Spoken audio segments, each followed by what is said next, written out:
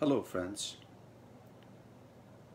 It is beyond any doubt that as music affects our mood, so does the language through which we express ourselves affects our thoughts.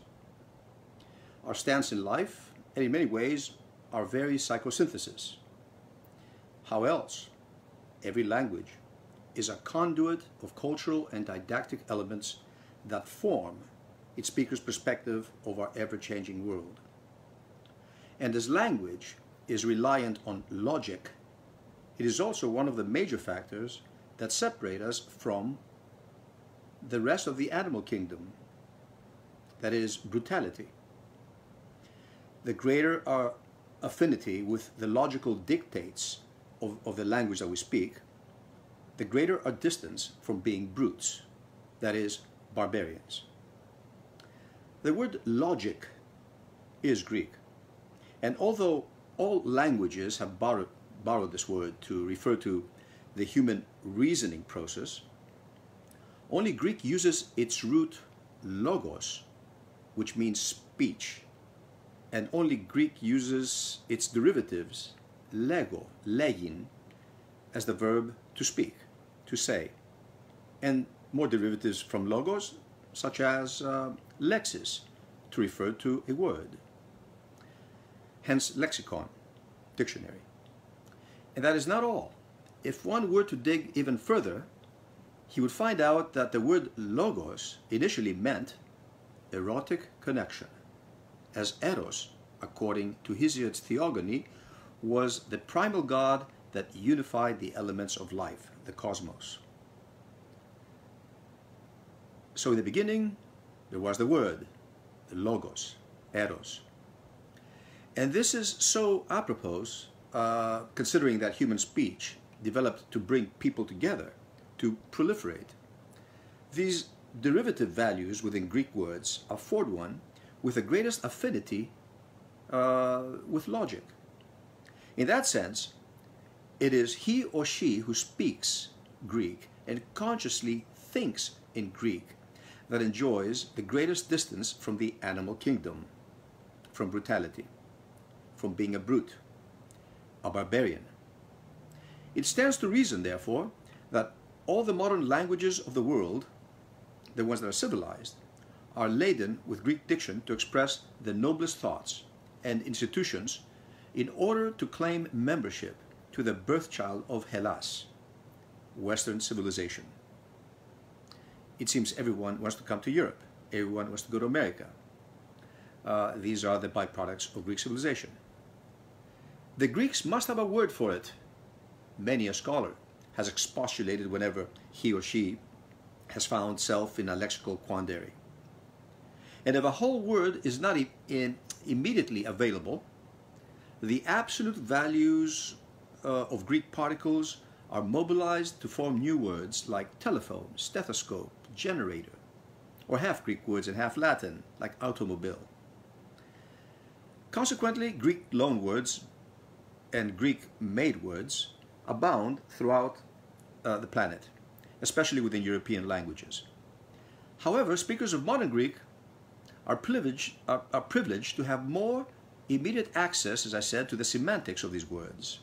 There ones who think that is, because there are many Greeks that speak Greek and take it for granted.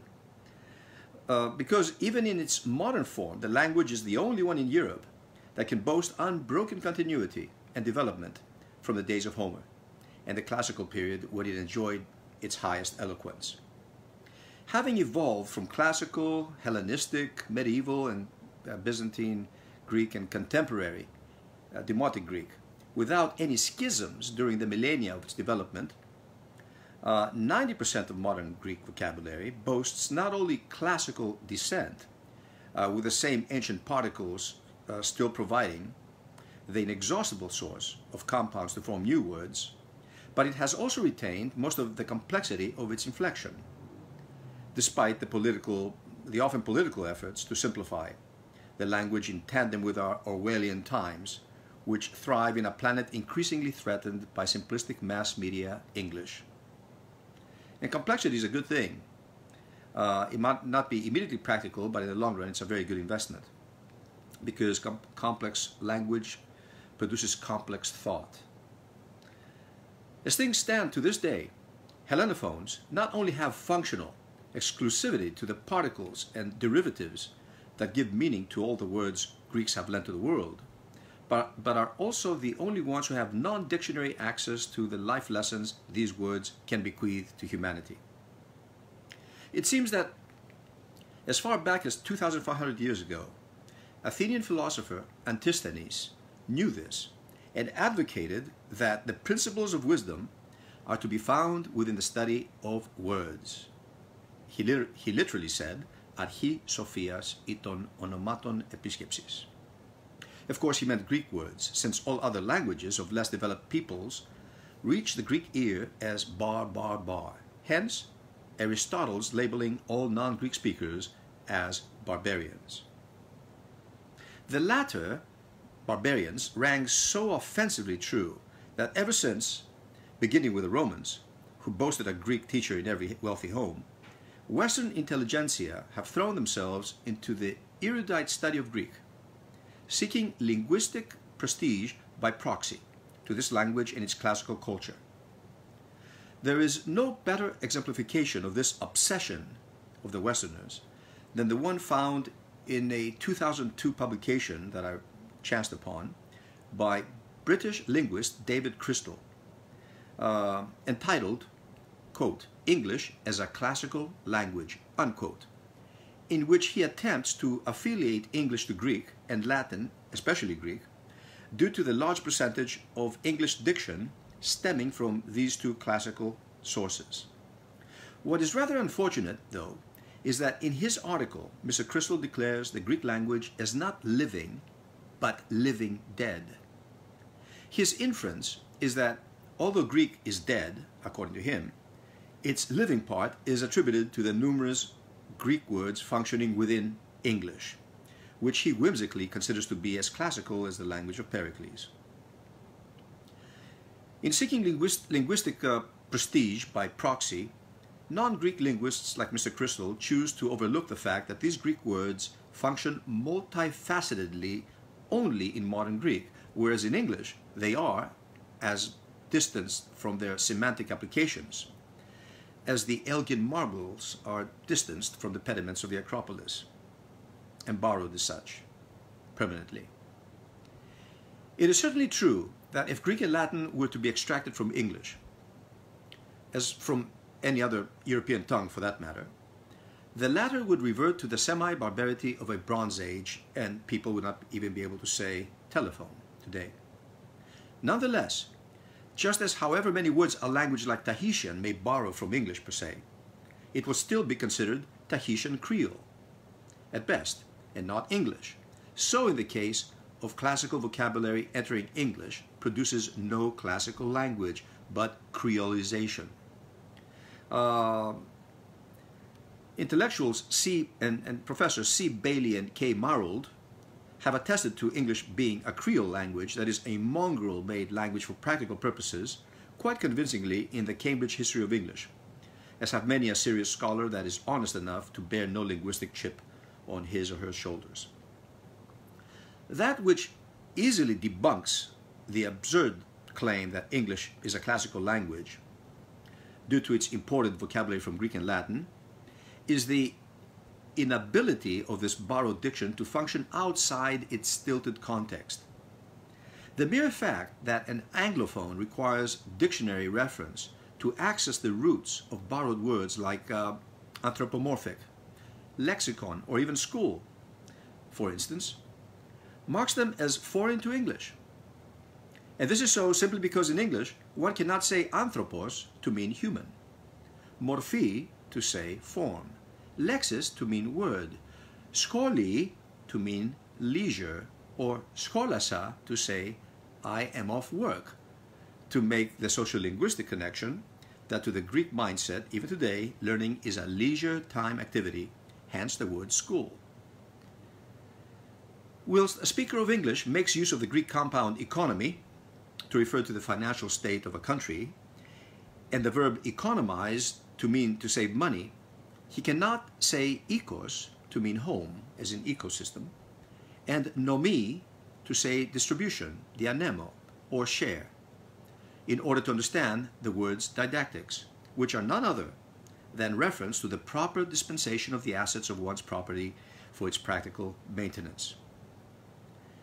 Lacking the derivatives of the Greek verb nemo, nemin, which means distribute, as I said, in the compound of economy, still abounding in modern Greek derivatives, an English speaker would be hard pressed to make its semantic connection with the goddess Nemesis, who distributes justice upon anyone who causes imbalances in the order of things within the broader ecos.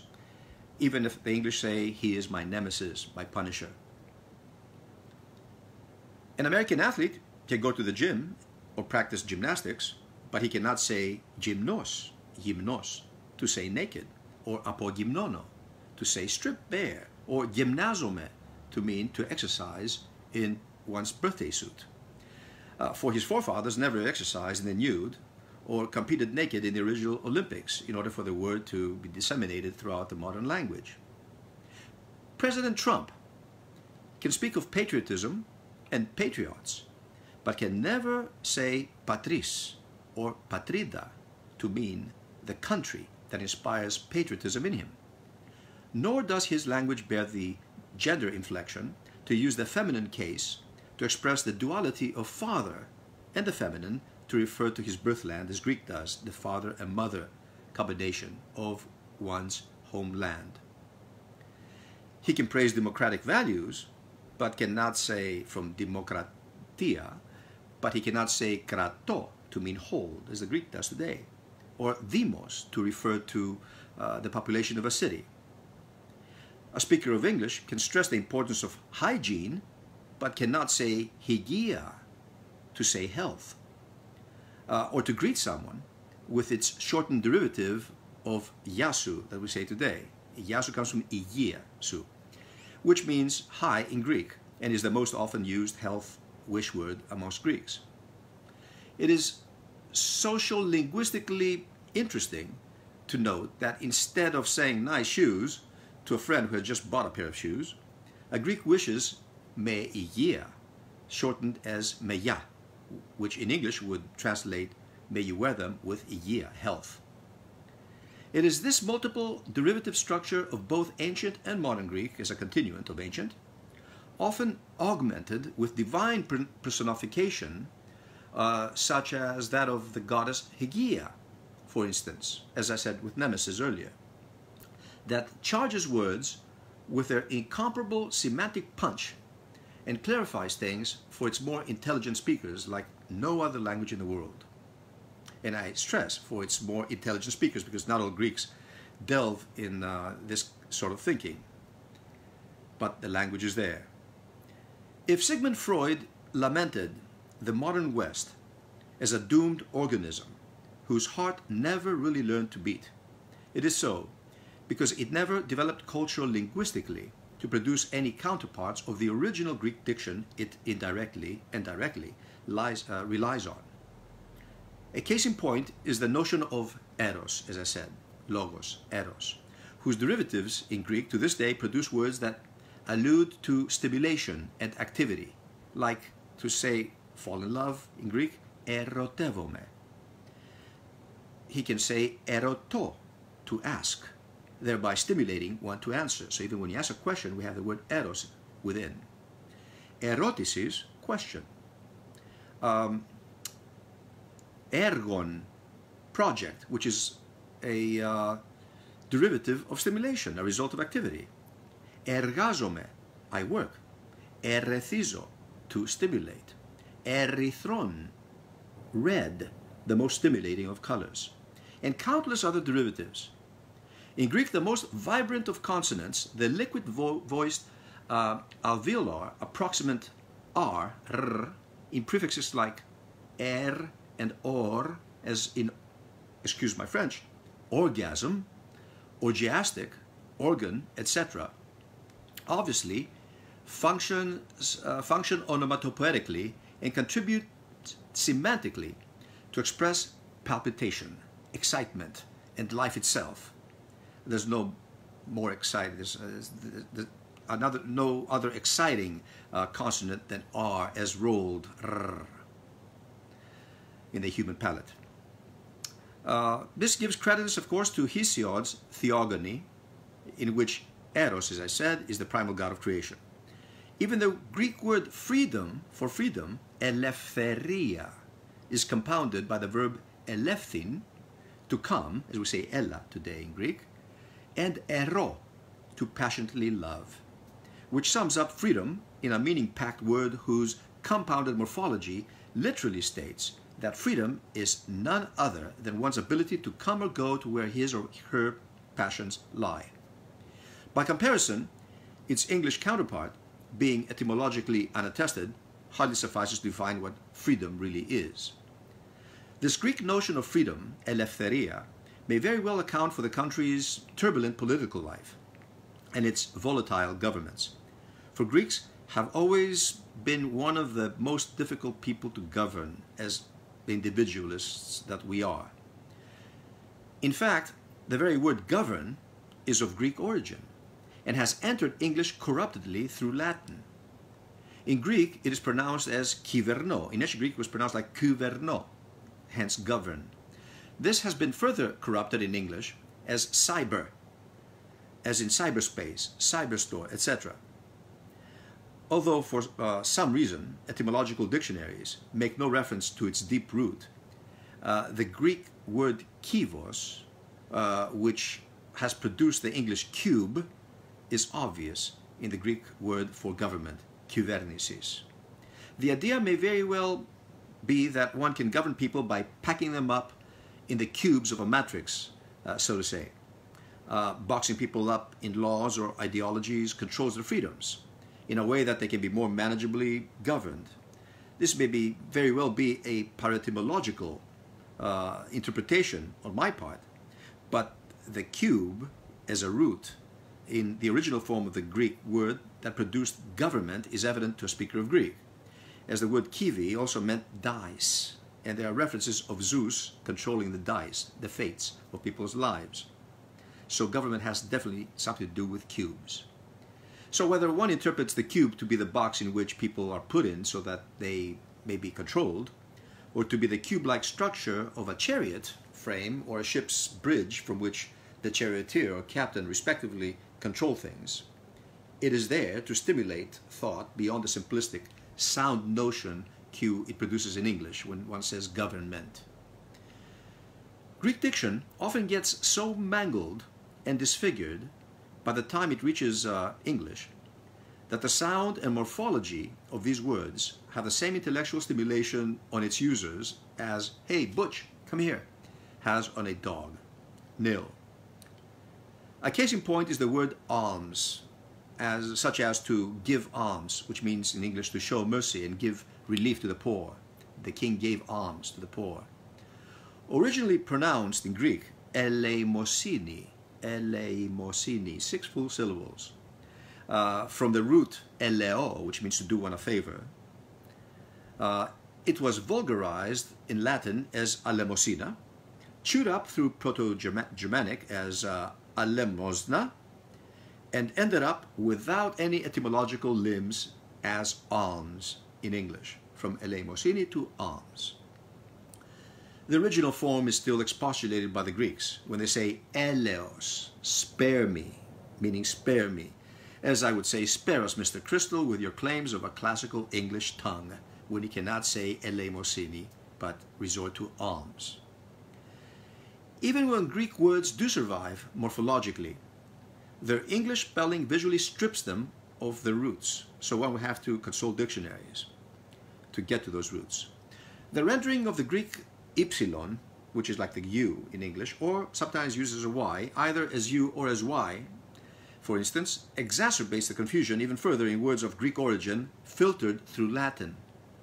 This is most evident in the word hybrid that we use today, which came to English through Latin hybrida, meaning mongrel, and was initially used to refer to the crossbreeding between a sow and a wild boar, a pig and a wild pig or that between a free man and a black slave in those days.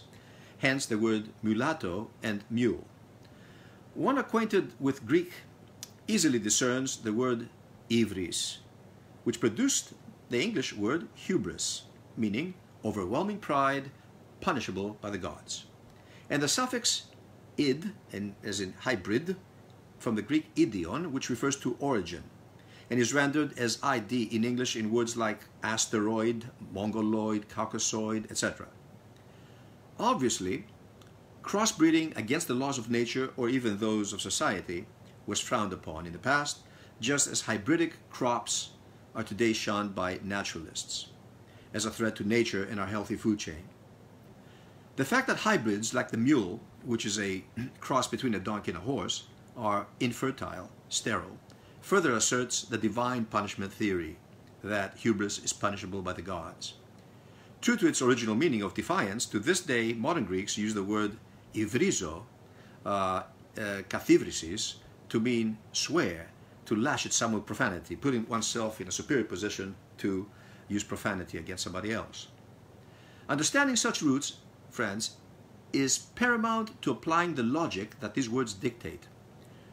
For instance, if a society can make the linguistic and mythological connection between hybrid and hubris, it might be able to avert the mass media promotion of unnatural concoctions uh, like multiracial and multicultural societies that cannot breathe as of late, in absence of a common ethos that could produce a healthy ethnos. Ethos, ethnos, hence the word ethnic. Devoid of a common ethos, morality, which is characteristic of our Creole cultures and Creole languages, the only ethnic, id est national coagulant, cohesion, is the common materialistic obsession that breeds idiots, who at every interracial conflict or outburst loot department stores for smartphones and sports shoes. Interestingly enough, the word idiot stems from the Greek word uh, or root idios, meaning self. Where there is no cultural unity under the linguistic dictates of a philosophical language like Greek, um, people do not connect outside the withdrawal of self, idios. They become idiotias, Greek for private people, who keep to themselves. The words, as I said, are still used in the derivative forms in Greek. This is so evident in the ever escalating crime rate in the USA, where occasionally even children, you know, preliminary school aged children, randomly uh, burst into their classrooms and shoot their classmates. And this is why the term he has he was such a polite and quiet little boy or person is common testimony of character witnesses on the part of the defense to alleviate the image of one accused of such atrocities. During my linguistic studies in the States, I briefly attended a New Testament Greek course before challenging it when I realized that I knew better Greek than most people there were teaching it, and was surprised that the uh, difficulty students were facing, struggling to understand the Greek phrase theos erotas, which means divine love. The perplexion was attributed to the fact that the students had been taught that eros was strictly sexual erotic love and agape familial love. Lacking such distinctions in English in which one can both be a lover of a person or an animal lover, the students obviously could not reconcile sex with the divine. When I explained to them that in Greek, uh, the word eros also functioned beyond a strictly sexual content context to mean any strong passion of attraction uh, that leads to unification in the way an English speaker may say, I am enamored with your mother's cooking, I received inquisitive stares. In fact, one student wondered uh, how I knew a dead language so well until the professor came to my rescue, revealing to the class that Greek was not dead amongst the Greeks uh, in the way that Latin is to Italians, and that a Greek schoolboy can understand uh, the Greek of 2,000 year, uh, years ago than an English person could understand 600 year old Chaucer. The false idea that ancient Greek is dead, uh, a dead language to modern Greek, seems to have permeated many institutions that teach it in the West. For instance, the other day, I chanced upon a New York insurance advertisement. You can access this in YouTube to cross reference what I'm saying, which began with the phrase, the ancient Greeks had four words for love. On hearing the past tense of had, I expected a revelation, a revelation, an apocalypse of antiquated words that I was not familiar with. So one can imagine my bewilderment and surprise when I heard the words that every Greek is still brought up with. That is, agape, familial, uninterested love, eros, passionate love, as we said, philia, love that grows out of friendship, and storgi, love that bestows affection and empathy. Of course, there's another love, philotimo, that could not be explained in English, so they omitted that in the advertisement. However, when I tried to access the comment section of this YouTube entry, I found it blocked. Uh, I presume probably because thousands of Greeks had viciously protested against the usage of the past tense of had, referring to words that were still alive and kicking amongst the contemporary Greeks. There have been quite a few instances like this, when, as Greeks, despite our modern day shortcomings and our political chaos here, in our crisis situations, overshadowed by the ephemeral golden age of our forefathers who suffered the same uh, plights as we do today, but they show, really shown uh, for a period of time, we have been intentionally shortchanged for our retention of our linguistic uh, identity over the millennia. In fact, many Westerners have produced volumes in an effort to prove that we are far cries from the glorious ancients. In fact, I can think of no other modern ethnic group that has received such advertent discreditation regarding its affinity with its glorious past. Uh, Friedrich uh, Nietzsche himself took notice of this.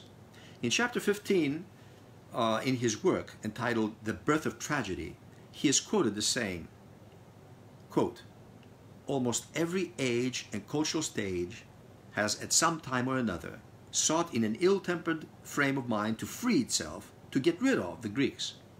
Because in comparison with the Greeks, all their achievements of the Europeans, apparently fully original and admired in all sincerity, suddenly appeared to lose their color and life, and were reduced to unsuccessful copies, even caricatures. And so, a heartfelt inner anger constantly kept breaking out against that arrogant little Greek nation which dared throughout time to define everything that was not produced in its own country as barbaric. He continues by saying, Unfortunately, people were not lucky enough to find the cup of hemlock which could do away with, with these Greeks. For all the poisons they created, envy, slander, and inner anger were insufficient to destroy that self-satisfied magnificence which many of you can probably see in my face. Hence, confronted by the Greeks, people have always been ashamed and afraid. It seems that an individual who values the truth above everything else might dare to propose as true the notion that the Greeks drive the chariot of our civilization and every other civilization, but that almost always the wagon and the horses are inferior material and cannot match the glory of their charioteers, who amuse themselves being able to whip such a team into the abyss over which they bound with the grace of Achilles. Such an individual who values the truth, there are many, but such an individual that I've come across is the academic Spanish linguist Francisco Adrados, who stated that all languages are essentially crypto-Hellenic, crypto-Greek, as they have borrowed so many words from the original Greek source like crypto, which means uh, hide, and whether it suits some or not, the fact remains that only modern Greek is obviously Hellenic, being the only language whose speakers can say kryptome or krivome to mean I'm hiding, or krypsona to mean hiding place, and scores of its uh, derivatives. And therefore, it is not a language in a crypt, the way some uh, linguists would have it in barbaric climes. Considering all this, the obvious conclusion to be drawn is that Greek is the only modern language deserving to be referred to as a classical language, privileged, with incomparable advantages over other European uh, languages that heavily rely on Greek diction to communicate beyond barbarism, as I said. And this is so because only one acquainted with Greek, as I said, fully knows what he is talking about when he uses this diction as long as he's a thinker. For Greek words are not just sound notion cues that even animals can respond to, but universities of didactic and philosophical thought. In closing, I would like to remind you of the grotesque figure of Mr. Portokalos in the American film comedy My Big Fat Greek Wedding.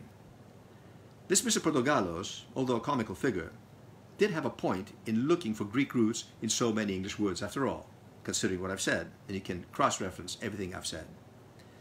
These words permeate every facet of high communication throughout the world. Greece may be phenomenally small in size and flanked by not so friendly nations which still border on barbarism, but both culturally and linguistically, it seems to have acted in our world like the pinhead from which the Big Bang created the universe.